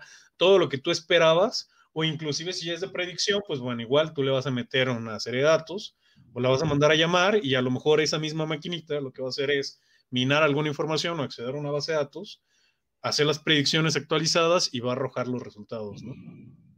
Entonces, resumiendo, sería estandarizar, estandarizar lo que vas a ejecutar. Y, Rubén, mencionaste un tema muy, eh, digamos, muy crítico aquí. Eh, todo el mundo está hablando del escalamiento. ¿Qué es el escalamiento? Y para eso se prestan muchísimo los contenedores. Es ¿Qué pasa si la computadora en la que estás ejecutando esa mini computadora tiene 8 GB de RAM? Pero tu, digamos, tu aplicación necesita, necesita crecer o necesita que entre varias tengan en conjunto, no sé, 24 GB de RAM. ¿Qué es lo que haces? Pues metes otra computadora donde empiezas a ejecutar lo mismo y todos están aportando, ¿no? Ese es el escalamiento. Y y créanme que ah, tal vez si, si han usado los servicios de Amazon, por ejemplo, Lambdas o lo que sea, es el principio es este, es el mismo, ellos están usando todo esto, ¿sí? Entonces, básicamente es uniformidad y para crecer bajo demanda. pero, pero a mí, a mí me, sigue no quedando claro, ¿no? Yo como científico de datos, ¿cómo lo uso? O sea, ¿cómo uso un contenedor? Ah, o sea, cómo ah, se programa, se, se, escribe en la línea de comando, eh, ¿qué, cómo, cómo bajo esta computadora? Necesitas una, digamos, un, un, programa que interprete, en primer lugar vamos a hablar como un programa que interprete lo que vas a escribir, la línea, la computadora línea por línea. Okay. Puede ser Docker, existe Wilda, eh, existen varios, varios, eh, varios eh, proveedor OpenShift, eh, varios contenedores, tú lo bajas y este tiene un intérprete donde le vas a decir, quiero que uses, eh, no sé, la, versión más ligera de Linux y que le bajes estas librerías, estas otras, y copies mi, punto, mi, mi punto pi, ¿no? De, de, de, aquí para acá y que luego ejecutes esto, pero que también uses eh, no sé, qué sé yo, un GPU, GPUs, etcétera. si te das cuenta es estandarizado todo, tú controlas todo el mundo. Entonces, cambio, de alguna forma hay intérpretes de estas, estos, vaya, es como si eh, tienes que bajar algo, ¿no? Tienes que bajar un software que es el que, el que interpreta estas líneas de computadora, ¿no? Si ven una ballenita por ahí que es muy famosa. Exacto, es el Docker, es el famoso Docker, que está muy de moda, o sea, eh, porque es bastante versátil la famosa ballenita, que es como el barco que se quedó varado hace algunos días. Eh, por eso, porque es un, es, un contenedor que lleva contenedores, ¿no? Es, es, por eso es que tiene la ballenita y lleva como, como esos contenedores en, en el lomo. Em, y básicamente eso es. Y que incluso digo, en una aplicación para ciencia de datos así clara y sencilla, incluso hasta la gente de, academia, porque es importante que puedan llegar a utilizar, no sé, Docker Files, por ejemplo. Si tú tienes un paper y por lo general, ¿cuántos papers no han encontrado ustedes que leen y tienen unos resultados específicos? Y de aquí a que los reproducen, ahí los quiero ver, ¿eh? Se van a tardar toda una vida toda una vida, aunque les ponga las referencias y eso, de qué bases de datos utilizaron. La ventaja de utilizar un, repositorio de GitHub y tener ahí con sus containers, sus Docker files y etcétera, es de que literal ustedes dicen, en esta computadora yo lo probé con esta configuración, aquí está mi código de mi modelo propuesto en mi paper, entonces yo lo corrí así y me dieron estos resultados. Entonces tú al ver ese paper, pues bueno, tú literal llegas al código, compilas, ¿no? Esa, esa máquina virtual, pues ese Dockerfile, este, y lo que haces es echarlo a andar y te da los mismos resultados. Entonces, ahí ya no hay ambigüedad y tú sobre ahí puedes empezar a construir, puedes proponer nuevos algoritmos. Entonces, también para la divulgación de la ciencia, eh, es una buena práctica, ¿no? Empezarlo a hacer y más. Estandarizar. estandarizar. Y cuando tu aplicación es un código, ¿no? Porque si no, luego, por ahí luego hay unos papers, ¿no? Y más de Deep Learning que a mí me ha tocado leer. Y pues bueno, nuestros resultados los obtuvimos después de entrenarlos por 36 semanas en 50 GPUs. Y tú así de, ¿de dónde crees que los voy a sacar, no? Entonces, digo, a lo mejor eso no se puede replicar, pero otro tipo de algoritmos que hagan otro tipo de cuestiones lo puedes estandarizar. Hasta más, hasta más pequeños, te digo, te digo, yo, yo me di cuenta de Docker también, este, al principio, al principio del, doctorado, eh, en el sentido de que, eh, o sea, ya usándolo antes, eh, te das cuenta de que cuando haces cómputo científico, te digo, muchas veces tiene el único, la única el único objetivo de resolver la necesidad próxima, ¿no? Del, investigador, ¿no? Necesito saber tal cosa, y haces líneas de código ahí a lo loco, a lo loco, y ahí tienes tu punto py, y resulta que nada más funciona, nada más funciona en una computadora, ¿no? Y, y es, es mega, mega vendeble, tu código se rompe con, con cualquier actualización, con cualquier cambio de computadora, no se lo puedes enviar a otra persona, no entonces pues los Docker eh, el, tener otro contenido pues hace que sea mucho más fácil trasladar esos, esos, esos códigos, ¿no? Y eso es fundamental. Yo creo que también la academia irá eh, apropiándose y absorbiendo el uso de Docker porque naturalmente hay que estandarizar el código que se Claro, claro. Sí, si todos nos acostumbramos a generar los mismos resultados en el mismo formato, como mencionaba Mike, el estandarizarlo va a ser más fácil las colaboraciones siempre, ¿no? Exacto. En vez de empezar a aprender las mañas o cuestiones prácticas que tiene cada departamento.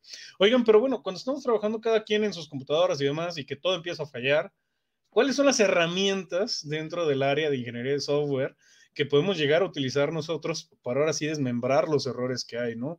Eh, porque hasta ahorita dijimos como los casos ideales, ¿no? De que todo se fue construyendo muy bonito, llegamos hasta los containers, pero cuando algo llega a fallar, pues bueno, un área importante también para un científico de datos, más allá de los errores del modelo, ¿no? Que puede llegar a tener de predicción, que lo puede evaluar con, con toda la parte de cross-validation, como ya hemos mencionado, pues, este, desde el área de ingeniería de software, cuáles son las herramientas que pueden llegar ellos a utilizar y por ahí están, ¿no? Las famosas llamadas herramientas para hacer debugging y el profiling, ¿no? Pero ¿qué es esto y por qué es importante para un científico de datos?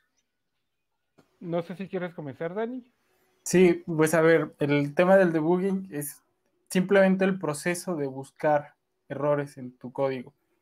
Eh, eh, como tal, ese es todo el asunto. Eh, exactamente las herramientas van a depender mucho de qué estés desarrollando muchos lenguajes, por ejemplo Python o este o lenguajes similares te permiten ir revisando paso a paso qué es lo que está ejecutando el programa para que vayas viendo los resultados y vayas determinando si es correcto respecto a lo que esperabas o no. Otro caso podría ser este simplemente hacerle print a las variables, ¿no? Imprimirlas y que te dé el resultado. Pues son formas de hacer debugging, depende mucho de las herramientas que tienen. Así como print, resultado aquí parcial, eh, si llego aquí. Dice, imprime esto, si va por aquí, si llego aquí. Sí, llego aquí, aquí, aquí. Si entro, si entro a este foro. Entró uno, entró dos, entró tres. Exacto, pues al final todo eso también es debugging, no será muy elegante, pero es debugging. Ahora, en ciencia de datos, creo que no, no está tan difícil porque, por ejemplo, el concepto de los notebooks te permite ir ejecutando paso a paso y estar revisando paso a paso qué es lo que vas haciendo y ver los resultados inmediatamente, ¿no? Pero cuando tienes procesos que corren de fondo, ¿no? Y este, van a hacer muchas, muchas acciones, por ejemplo, que vayas a modificar dos millones de archivos, o a lo mejor te conviene revisarlo primero en una versión pequeña, asegurarte que no va a ser nada raro y entonces ya lo, ejecutas eh, productivamente. Pero aún así puede darse el caso, somos seres humanos y tendemos a tener errores, muchas veces porque no entendimos el requerimiento, no tenemos bien el contexto del problema y podemos programar algo que en, realidad tal vez no era, no era lo que se esperaba. Entonces aquí es donde podríamos eh, comenzar a utilizar el debugueo en el sentido de que es como un por aquí uno, por aquí dos, por aquí, pero ya es como más formal. Y aquí es donde podemos hacer, como traer un poco a colación el tema de dos cosas, de los eh, de los eh, IDES, que te, de los IDES que te ayudan a hacer ese debugging, pero hay otro tema que se llama instrumentación del código. O sea, esos prints que tú pones los puedes mandar a logs del sistema donde más adelante te van a salvar la vida porque vas a decir, ah, mira, hice esta función, esta y esta, ah, y falló, la, la excepción o el error me lo mandó aquí, pero ya estás logueando todo esto. Eh, y, es, y eso es parte de, de, la ciencia, ciencias de la computación que un científico de datos debería de tomar. Ahora, el profiling, ¿qué pasa si escribiste algo retomando el tema de estás trabajando con Force en, en vez de, de vectorialmente hablando. Que en tu modelito todo funcionó chido, reaccionaba bien, pero ya cuando te das cuenta que en, producción comienza a tar, porque se está alimentando y comienza a crecer y crecer y crecer eh, toda la, todo el modelo y todos los datos que tienes, empieza a ponerse lento y lento y lento eso necesitas hacer profiling y ver dónde es que eh, el código es que se está tardando mucho tiempo. Por lo general vas a, vas a ver que donde estás perdiendo el tiempo es donde usaste las malas prácticas de desarrollo, ¿no? Como dicen garbage in, garbage out. Ah, no hay más. Oye, no hay más. Esos, esos, ciclos for que mencionabas, ¿no? Para hacer las pruebas iterativas. Sí, sí, sí. Sí, sí, o sea. De hecho, de hecho, ahí, por ejemplo, se me hizo curioso eh, lo que dijo Dani, ¿no? Y digo, ahí nos podemos entrar a, todo un debate, ¿no? Porque hay gente que odia las notebooks, hay gente que las ama. En particular, yo las encuentro muy útiles para su objetivo, que es, eh, que es el de prototipar, pero hay gente que no prototipa en ellas, hay gente que quiere desarrollar, eh, y como dijo Dani, dice, Dani dice, idealmente las Jupyter Notebooks es muy fácil de buguear porque vas eh, corriendo celda por celda y esas celdas van teniendo outputs, entonces idealmente sabes dónde están los errores. Sin embargo, ya cuando ves algunas, algunas celdas en las que, en las que están súper cargadas de código, eh, pues generalmente las Jupyter Notebooks no tienen herramientas de, de debugueo eh, muy profundas, ¿no? A pesar de que, por ejemplo, Python tiene, tiene toda una librería para, para un debugger, eh, como tal, Jupyter Notebook no tiene esas herramientas, ¿no? Entonces, e, es curioso, ¿no? Que, que, que, a pesar de que es una de las herramientas de desarrollo más predilectas, creo que de donde más cogea es de esta área, del, del área del debugueado, precisamente cogea porque probablemente no la usemos bien, ¿no? Pero, pero vaya, quería como tocar ese tema porque ciertamente eh, eh, este entorno de desarrollo tiene muchos adeptos y muchos haters, eh, precisamente yo creo que por esto, ¿no? Porque muchas veces como, como está pensado para, para prototipar, puede, puede ser que sea, puede ser muy fácil imprimir muchas malas prácticas en cómo estás haciendo código en un Jupyter Notebook. Este... Y creo que aquí radica mucho lo que dijo Daniel, ¿no? Hace rato. Este, ah, el hecho de que tú utilices un notebook, vas haciéndolo por bloques, ¿no? Entonces, son cosas independientes hasta cierto bloque. Y como mencionaba Daniel, pues bueno, un desarrollador tiene que estar interactuando con demasiados servicios a la vez. Entonces, no puede ser de que corras como en un notebook, o sea, queda queda sobrepasado y por eso a la vez necesita herramientas más poderosas. Entonces, yo creo que hasta que alguien dentro del área de ciencia de datos, hasta que no se topa con un problema en serio, que no lo puede buguear con sus aquí llegó, ¿no? este, el hecho de aprender estas buenas prácticas, eh, como lo que mencionamos en el segmento de las IDES, es les va a ahorrar mucho tiempo el estandarizar este tipo de cuestiones. Este, y ahora sí, dejar todo el mayor tiempo posible para poder concentrarnos en, ¿cómo se llama?, en la parte de, de pues ahora sí que del modelo, ¿no? De lo que debería de funcionar y de la integración, ¿no? Pero pues bueno, muchachos, este, este tema ha sido muy interesante. Yo sé que nos pudiéramos seguir explayando muchísimo, muchísimo, Pero antes de llegar a los comentarios finales, me gustaría este, que pues viéramos la recomendación de esta semana, que pues bueno, no, no va a ser un libro esta semana específicamente, pero sí van a ser unos eh, recursos muy importantes, ¿no, Daniel? Sí, así es. Esta semana, primero, como mencionabas al principio, el podcast de hoy está basado en un contenido de, este, que pueden encontrar en línea, que se llama El Semestre Perdido de Computer Science, de Missing Semester. Este, así lo pueden googlear.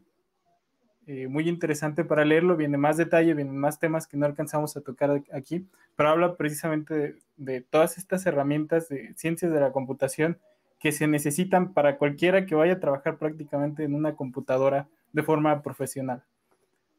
Y la otra recomendación que les tengo es para los que quieren aprender Shell, en particular el Shell, de Linux.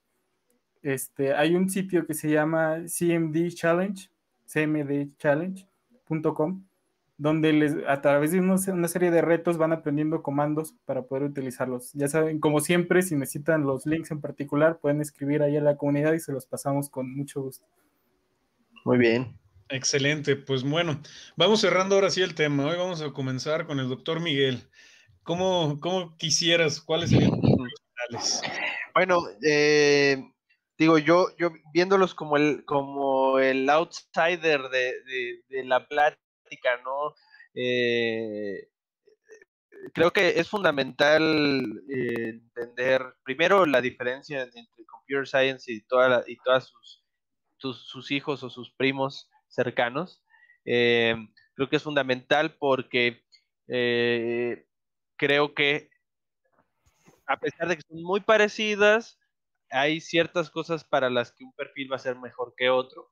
Eh, luego, e, eso por un lado, ¿no? Sobre todo cuando hablamos de desarrollar modelos o algoritmos, creo que el Computer Science está mejor perfilado. Y cuando hay que prototipar y hay que generar herramientas, creo que el Software Engineering está mucho más, mucho más capacitado, ¿no? Pero, pero más allá de eso, eh, yo lo que quiero como ahondar es que hay muchas herramientas para, hacernos la vida más sencilla, ¿no? Hay, hay, muchos de los problemas a los que nos enfrentamos, nos tenemos que preguntar muchas veces eh, si no hay una forma más sencilla de hacerlo, porque seguramente la hay, porque hay alguien que ya pasó por ahí, y muchas de las cosas que, de las que hablamos hoy eh, pasan por eso, ¿no? Creo que conocerlas sin lugar a dudas es fundamental para alguien que esté trabajando con datos, eh, porque como les digo, te pueden salvar días de, tiempo perdido, ¿no? En tiempo perdido. Entonces, hay que entrarle, los que somos más, por ejemplo, en mi caso, más de la parte de, matemáticas o de modelado, pues hay que tenemos, justamente creo que esa es la, la con lo que quiero cerrar, ¿no? en el podcast pasado hablamos de las matemáticas, ¿no? Entonces la gente que va más allegada al, software y demás, pues le tiene que entrar esas matemáticas y le quiere entrar los datos, ¿no? Pero igual nosotros a lo mejor estamos más allegados al modelado y, a las estadísticas y al control y bla, bla, bla, pues si queremos entrar a la ciencia de datos tenemos que entrarle a esto, ¿no? Entonces no hay vuelta de hoja y no hay camino fácil, ¿no? Entonces, y hay mucho que aprender y la ciencia de datos es eso, ¿no? Aprender y aprender y aprender y aprender de muchos temas, de muchas cosas todo el tiempo. Excelente, muchas gracias, Miguel. Daniel, por favor, ¿cuáles serían tus comentarios finales? Sí, que no le tengan miedo a la consola de comandos. ¿eh? no, a ver, como todo es una balanza. El tener una interfaz gráfica va a ser más fácil de usar, pero va a tener menos poder por definición. No, no puedes tener los mismos comandos. Del lado de la interfaz de, de comandos vas a tener mucha capacidad, mucho poder y también mucha responsabilidad. Puedes hacer cosas muy peligrosas con ella. Pero vamos, por ejemplo, Miguel dice, ah, a mí me ahorró tiempo. Y este, Además hay que considerar que todas estas herramientas que vienen en, la consola de comandos vienen de tiempos donde las computadoras tenían muy poquitos recursos, estaban muy limitadas, donde solamente había interfaces gráficas. Entonces son programas muy, muy eficientes, están muy optimizados para poder ejecutar estos programas que van de tener fácil 30, 40 años con modificaciones mínimas, pueden manejar sin problemas archivos enormes. Entonces, es bueno conocerlos, es bueno saber que están las opciones ahí y de nuevo, no le tengan miedo a, la consola de comando. Excelente, muy bien, gracias Daniel. Mike, por favor. ok, pues sí, eh, también hay, em, concluyendo uno de los temas que hablaba Miguel, y esa es otra diferencia entre alguien que, que practica ciencias de la computación y alguien que no lo hace, es... Eh, también, se, eh, también utilizamos el modelado y las matemáticas porque pues tenemos que trabajar con, algo, con pues con ciencia, ¿no? Y para, para decirles que, hay gente, que eh, científicos de la computación que están en Machine Learning y todo, que han hecho deploys de, de, software de ciencia de datos utilizando R. O sea, que todo mundo dice R, es que R es para prototipado y no, no, si también, si tienes las bases de ciencias de la computación y le metes cañita con C, por ejemplo, o Julia o Fortran por atrás, ya solo que te queden las operaciones matemáticas sabiéndolo hacer, claro que lo puedes utilizar, a diferencia de los notebooks, que yo los amo, por cierto, que no, no puedes, no puedes eh, ejecutar los modelos como tal de, eh, de, forma automatizada. Básicamente esto, yo la llamada que les hago es que si, a pesar de que sean de otra área, busquen las herramientas y la forma de optimizar sus procesos porque les va a salvar tiempo y recursos. Y eso es lo que queremos.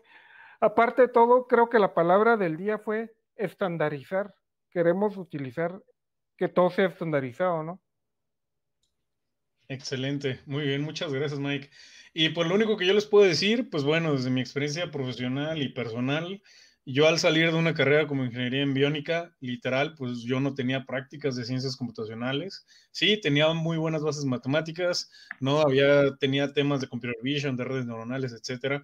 Entonces, cuando me moví al área de ciencias computacionales, tuve que aprender muchas cosas, sigo aprendiéndolas y todavía también cuando empecé a trabajar en la industria, pues ahí tuve la necesidad de aprenderlo sobre la marcha. Entonces, mi recomendación es, si ustedes ya decidieron este camino, no se esperen a estar en el trabajo para tener lo que aprender. Desde ahorita sigan estos consejos, comiencen a estudiar con tiempo, van a ver que a lo mejor al inicio obviamente siempre la barrera va a estar ahí, pero ya una vez que sobrepasen esa barrera van a empezar a trabajar de una manera más eficiente y que utilicen ahora sí que todo su pensamiento y todos sus recursos para desempeñarse y resolver ahora sí lo que verdad importa, ¿no? Que es el modelado y el performance de un sistema. ¿no? Entonces, este, yo sé que pudimos seguir hablando de estos temas de ingeniería de software, de ingeniería de requerimientos, hay muchísimo para dar. Yo sé que vamos a seguir tocando estos temas en los siguientes. Pues de parte de toda la comunidad, otra vez, cinco años no se dice sencillo. Uh.